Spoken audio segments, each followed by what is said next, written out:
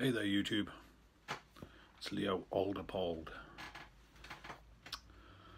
Um, back with you again momentarily, albeit briefly, no doubt. Um, because um, the purpose of this video is really just uh, by way of a bit of a review. And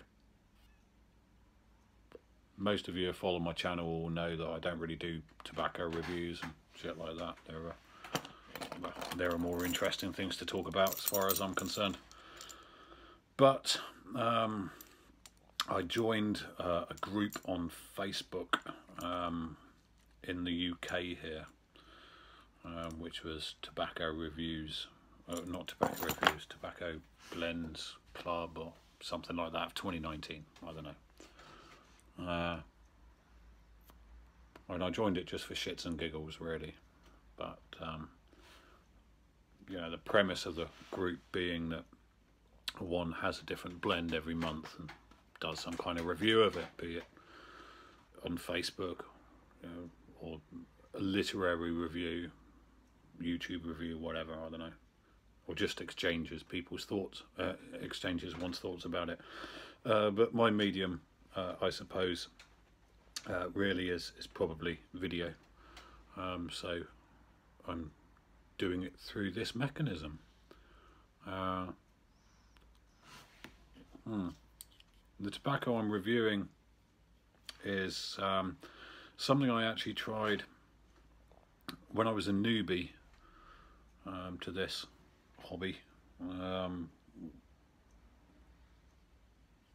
and it's um, Sam Gawith or Gawith and Hogarth. I can't remember who makes it. In fact, uh, 1792 flake. In any case, um, it's got a bit of a legendary or um, infamous, one might say, reputation amongst pipe smokers for being quite a belter of a tobacco, nicotine wise, flavour wise, and everything else. And the funny thing is, I remember when I started smoking a pipe a number of years ago now. Um, excuse me. It was one of those ones I thought was yeah pretty strong, but I was a cigarette smoker, so didn't didn't really affect me nicotine wise. Excuse me, a bit gassy drinking a speckled hen beer.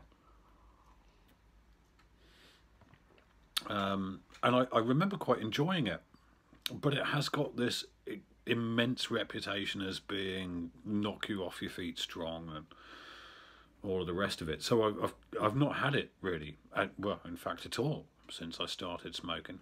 Um, so I've kind of forgotten what it's like, and that's put a little bit of the fear into me, I suppose.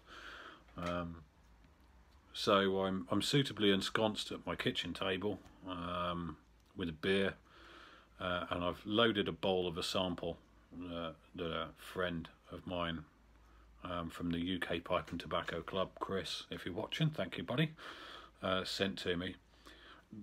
I bought it. I, I, got a sample because I basically remember it being the kind of blend that um, was okay for a now and then, but can I justify spending best part of 15 quid on a tin? Yeah, I'm not really so sure. I don't know. Um, but uh, I'm going to review the sample anyway for the sake of uh, sake of posterity. Uh, I'm smoking it in uh, one of the new acquisitions I've made this month. I've splurged a bit money wise and bought myself a whole range of new pipes and things in the last month. Um, one of which is uh, this beautiful Savinelli Condale, which I bought to replace the Church Warden that I left in Papua New Guinea uh, on my office desk when I left in a bit of a rush. Um, I took uh, the, the handful of pipes that I was using and uh, some other bits and bobs where I left my old Wessex church warden and various other things over there, no doubt to be used um, by the locals um, as they cannibalised all of my stuff since I haven't gone back. Um, but I wanted one of these things for years. I love them. Um, they're really beautiful pipes. Beautiful grain on the briar, but this nice oak banding. It's 9mm filter pipe, which I'm not really used to, but I've got a conversion thing that fits inside it as well, although I'm using a filter now. Beautiful pipe, and uh, I bought it actually because because I'm so impressionable. Uh, I was watching Lord of the Rings with my girl the other week, and I thought, shit, I still haven't replaced my church church warden. So, well, I'm doing okay for money this month, so spend a inordinate amount of money on a nice Savinelli one. Hmm. And a very fine pipe it is too. I'm very pleased with it.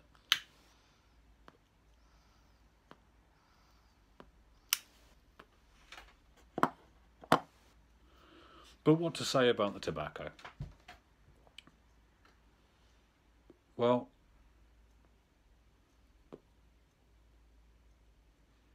I remember it being a little more strongly flavoured than this.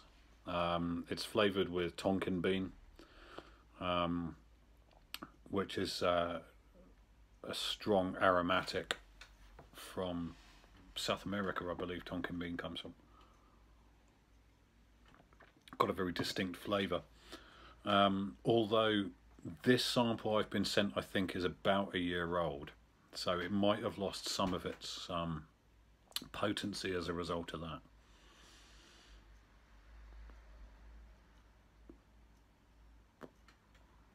What I've smoked since is the Lakeland Dark Flake that comes in a tin. I believe is exactly the same blend, but without the Tonkin topping. And this is pretty much of a muchness. Um, it is strong. Yeah, I mean, there's definitely a nicotine hit there. But I'm still smoking cigarettes fairly frequently, so um, you know, it's it's maybe not hitting me quite as hard as it would with a lot of people. Um, and I also take snuff and the occasional bit of dip, so my nicotine tolerance is generally pretty high. Um, it's not blowing my head off quite as much as I imagined it would.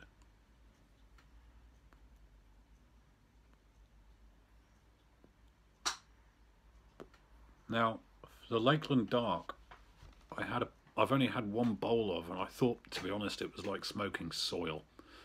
Really, it didn't have much of a flavour. It was very strong, taste-wise, but with no flavour, if that makes much sense.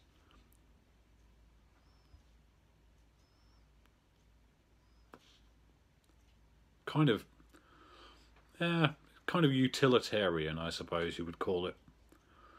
This, I have to say, and it might be because I'm smoking it through a 9mm balsa filter in this pipe, but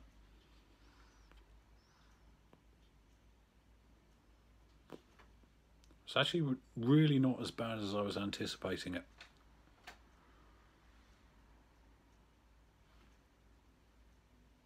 Well,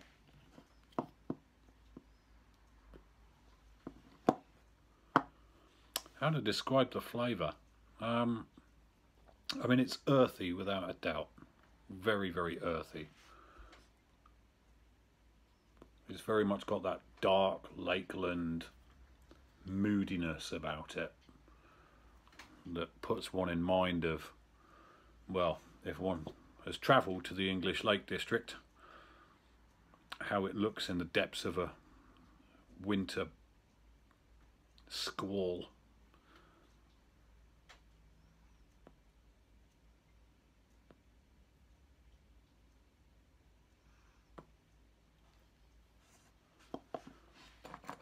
And I don't know also whether or not it's because I've also smoked a couple of other Lakelands in this pipe. Um, I have smoked Grasmere Flake in this and Ennerdale as well. Um, and that's probably ghosted the pipe a little bit, giving it a bit more of a floral um, sort of flavour to it. But I am getting some degree of florality. If that isn't a word, it is now.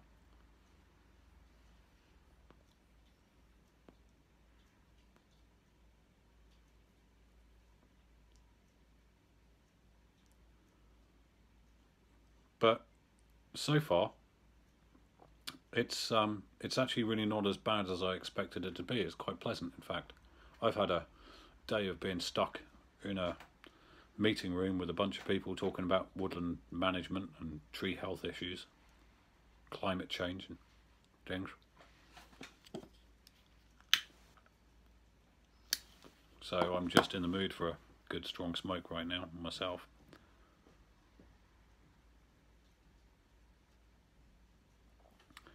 And it might be that I'm enjoying it more because it's just what I need right now.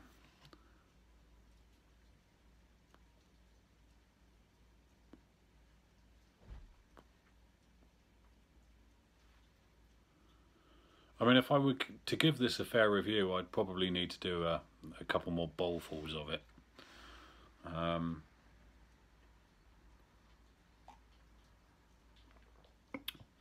but, do you know, actually, first impressions wise, really second or third, although the first impressions was quite a number of years ago now. It's really not as bad as I'd anticipated. Definitely not an all-day smoke, definitely not a breakfast smoke. Definitely something for a full stomach and a beer. Especially if you don't have a high tolerance to nicotine, you should leave it well alone.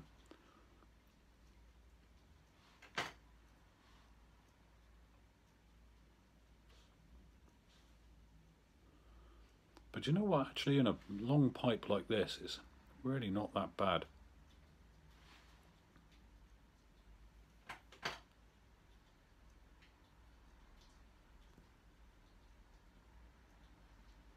Yeah. So it's kind of peaty, stormy.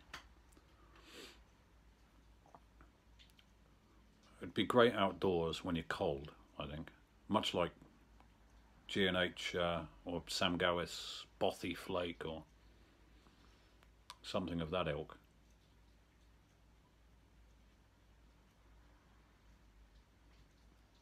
I don't think my other half is going to like the smell of our kitchen after this. So room note wise, probably best for the man shed.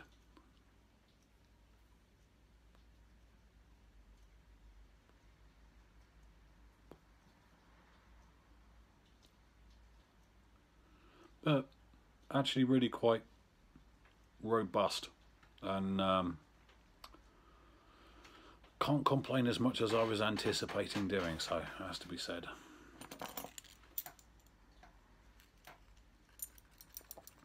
So this was supposed to be a really quick review. It's turned into 13 minutes or so. I'm going to leave it at that. Um, I might put some other reviews up of the uh, 2019 Blends Club. Um, but if you don't like tobacco reviews, um, I don't blame you. I find them mostly dull as ditch water. Um, I don't blame you for not watching another one from me at all. Um, I'm really only just reviewing this a little bit for the sake of um, camaraderie, shall we say.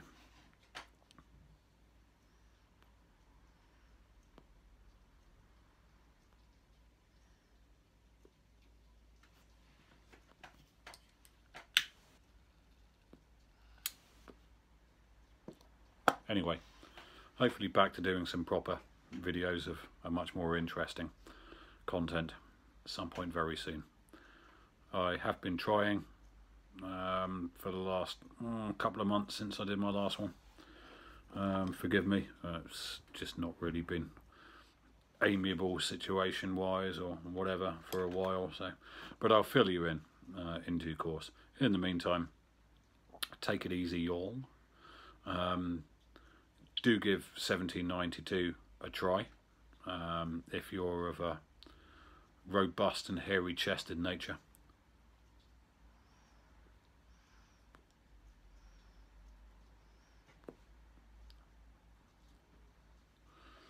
Um, but if you don't want to, that's fine too. Catch you later, folks.